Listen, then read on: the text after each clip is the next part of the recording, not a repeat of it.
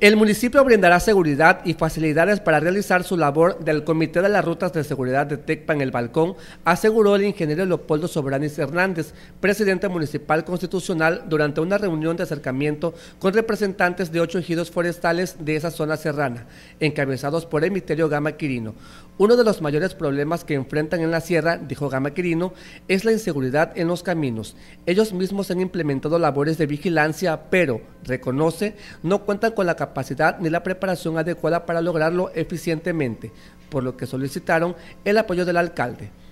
Por su parte, el presidente municipal les ofreció el respaldo del ayuntamiento en todo lo que sea posible para fortalecer la seguridad en la zona serrana y evitar que personas de mentes perversas pretendan alterar la tranquilidad de sus comunidades. Afirmó que no le temblará la mano para actuar con mano dura contra la delincuencia. También les anunció la próxima creación de la política rural montada que dependerá del gobierno estatal y estará conformada por los mismos habitantes de las comunidades, quienes recibirán la capacitación adecuada y el armamento necesario para llevar a cabo sus funciones de seguridad.